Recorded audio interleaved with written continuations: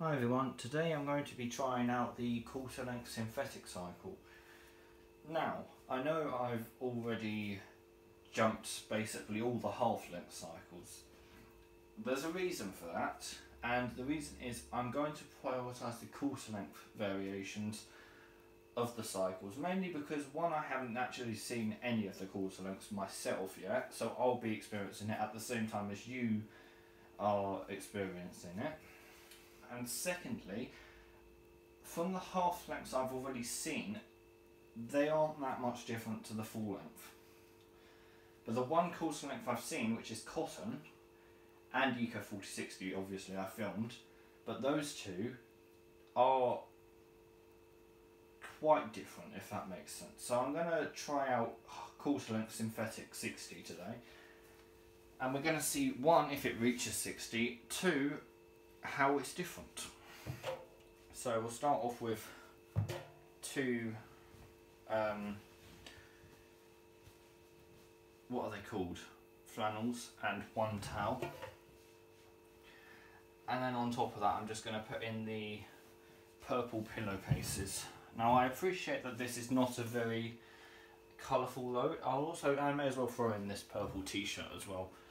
Purple, um, not t-shirt, nighty, which is mum's. Now I appreciate this is not a very uh, colourful load, so you might not be able to see a lot. I'm going to add in uh, 80ml of surf. So yeah, you might not be able to see a lot, but it's all I have at the moment to film.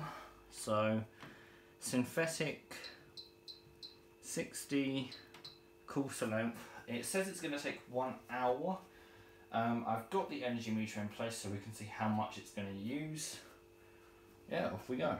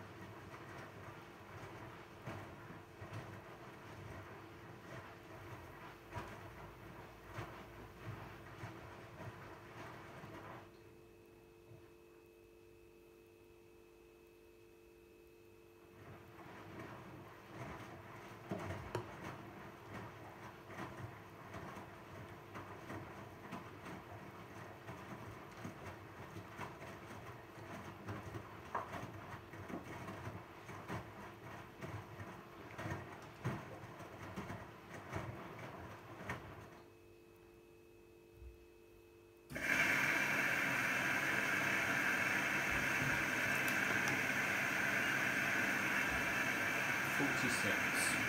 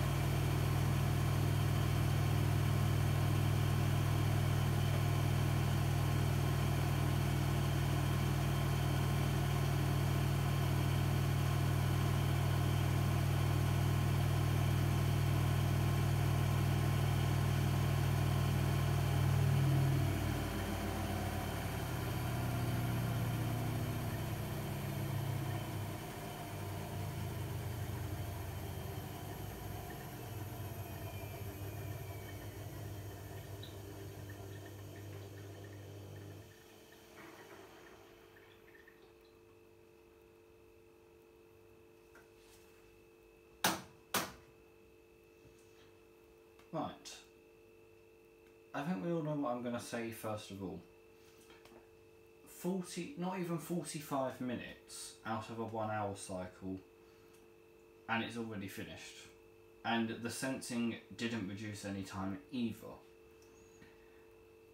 That extra time could have been used in both the heating phase to allow it to reach 60 um, and also in the rinsing and spinning phase. Could have done an additional intermediate spin in that time, the one it missed, and it could have done a longer final spin, like a longer time at 1200.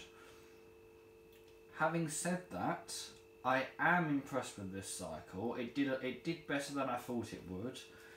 I will give, I, I will I will say that it, it's better than I thought it would be, and it actually does do the job. It would be a good cycle for a hurry. It's a very good alternative to Easy Wash 60, actually. I would rather use this over Easy Wash 60.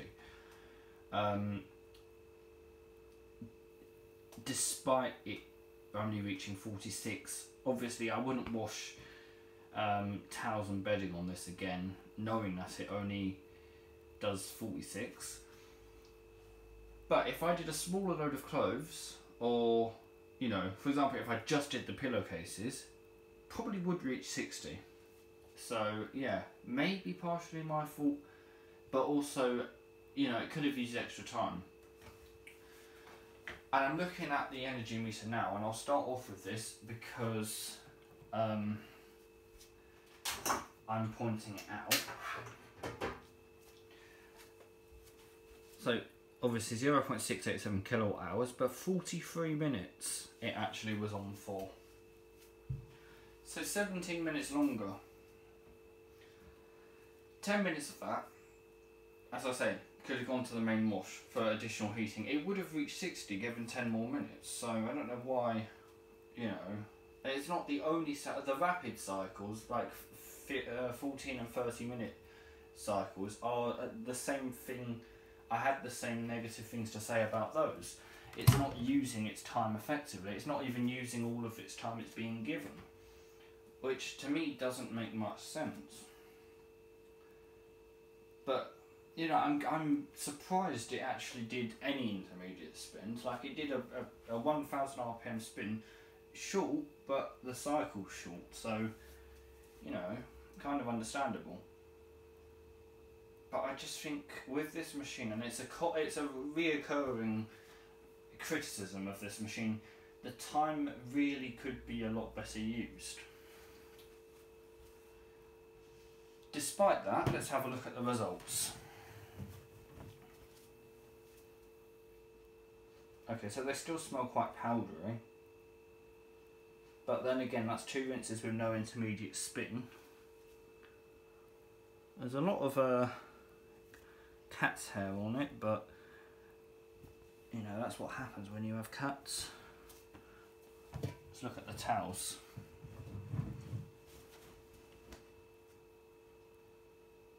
Towels are very soapy. Alright, not bad, not bad. Oh, and then let's look at the 90 as well.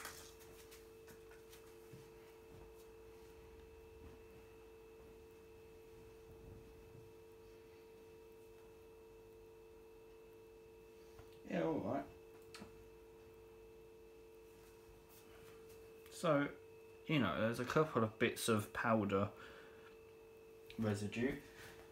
So they will have to go back on a rinse. Um, yeah.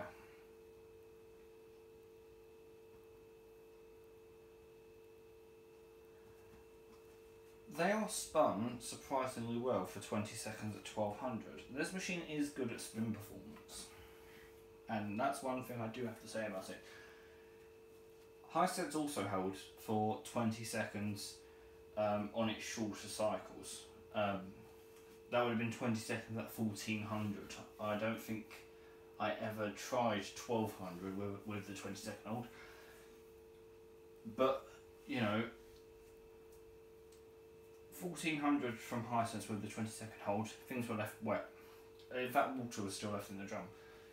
20 second hold from Zanussi at 1200, things are quite well spun. Like, you know, there's no water dripping off of this. They're quite. I think you can even see by the colour they're quite well spun. So, can't really complain about the short spins because of the short cycle. I guess I just wish that that extra 17 minutes was spent, you know, heating. And a couple of minutes spent doing an extra intermediate spin. If they did that, it'd be a perfect one hour cycle. As it stands, that's a brilliant 45 minute cycle. So if they made that into an additional rapid cycle, but obviously with the temperature at 40, not 60, because it reaches 46, that would be a perfect, you know, full 45 type cycle. But yeah, not really a lot else to say. Thank you very much for watching this video. Hope you enjoyed it. If you did, then please leave a like, and I'll see you in the next video. Bye bye.